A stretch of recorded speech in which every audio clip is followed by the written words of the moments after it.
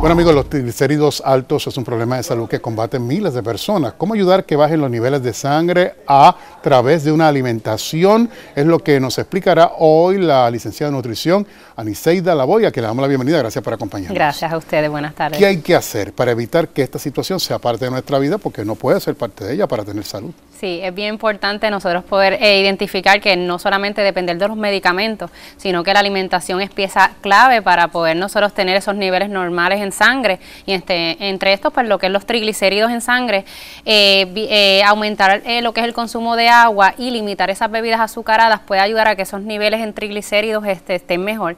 Porque si venimos a ver, los triglicéridos es la manera en que el cuerpo almacena esas calorías en, en exceso que nosotros consumimos, que el cuerpo no las necesita y las va almacenando en forma de grasa. Es por esto que una de las recomendaciones que siempre digo, tratar de limitar esas bebidas azucaradas, porque si nos dejamos llevar eh, comemos y estamos tomando líquidos, si nos ponemos a contabilizar esas calorías que tenemos extra en bebidas azucaradas, es un factor bastante eh, significativo para esos niveles. Yo he sabido escuchar personas que han dicho sencillamente, mira, estoy comiendo, haciendo mi ajuste en comida, realmente no estoy haciendo una gran dieta, pero dejé, dejé la soda, dejé el jugo, dejé toda esta bebida azucarada y su vida ha comenzado a cambiar. Es un cambio bien drástico porque es la cantidad excesiva de azúcar que tienen las bebidas, pues eh, ocasiona no tan solo los triglicéridos, sino muchas complicaciones de salud.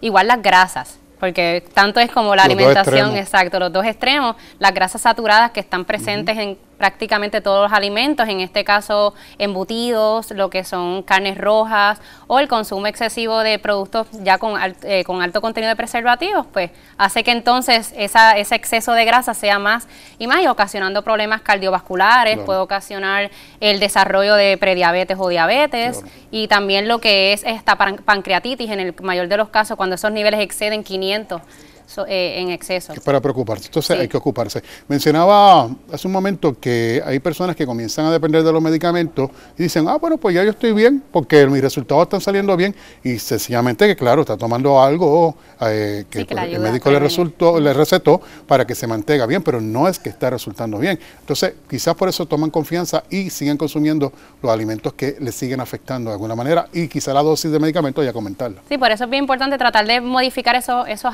malos hábitos hábitos alimentarios para que entonces no sea como que algo a corto plazo, sino que lo puedas mantener como un estilo de vida y se te hace un poco más cómodo identificando que alimentos no son los más saludables y entonces de esta manera tener una, una mejor selección de alimentos que es lo que nos ayuda a mantener esos hábitos. Por lo que me estás diciendo, si una persona toma esto en serio, si en efecto hace un reajuste en términos de este consumo de azúcares en exceso y toma medidas de que la grasa tampoco esté en exceso, puede revertir eh, una situación donde los triglicéridos están altos. Exacto, igual también lo que es el, el aumento de, de, la, de, la, fibra en la alimentación. A veces hay personas que no les gusta consumir prácticamente nada de fibra, ya sea en frutas, vegetales o alimentos integrales. Y entonces, pues, es bien importante que poco a poco buscar esa manera de cómo incorporar esa fibra en la alimentación que tiene un impacto positivo en los niveles de tanto en triglicéridos, azúcar en sangre y colesterol.